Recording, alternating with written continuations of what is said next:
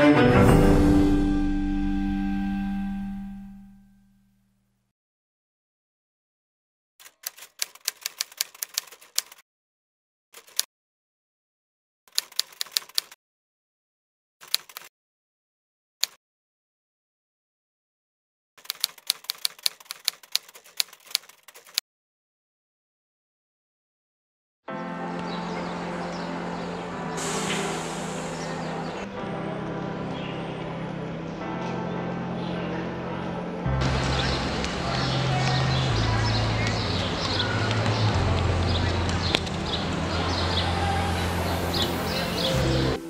Hi, my name is Kenneth Sable. I'm 23 years old, and I have CP since I was 3 years old.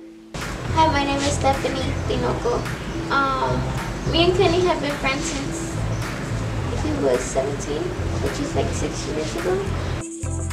Kenny is very instrumental to our program. Um, he brings lots of joy. He's always smiling no matter what the situation is. Um, he's he just keep us uplifted. I had the privilege of working exclusively, exclusively with Kenny uh, for at least maybe the last eight plus years. Uh, so him and I have been able to really develop a, a, a quite a bond over that time. He makes me laugh. He makes me, you know, smile when, uh, you know, I probably had a bad day. Uh, he's always has a, a, joke or two for you to get you uh, going for the day. Here comes STS pulling up, and Kenny gets out. He comes in, he has his shades, he's like with the biggest smile, and he just brightens up your day. Everybody love me down here.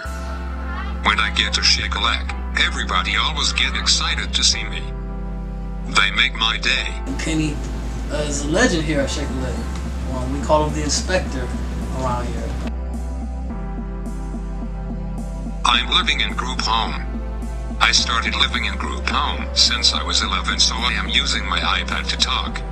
I've been at Shake a Leg for 13 years. He's, he's very important to us, and we are very blessed to have Kenny a part of our program. Shake a Leg teaches me how to respect people how I wanted to be treated. He's an icon here.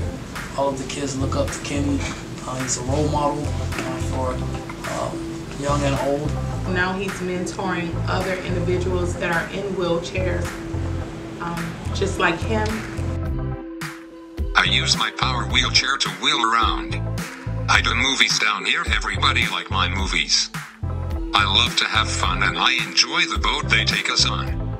We go different places where we want to go. Shake a Leg is home there like my family. Kenny is a real inspiring person. There is no Shake a Leg without Kenny.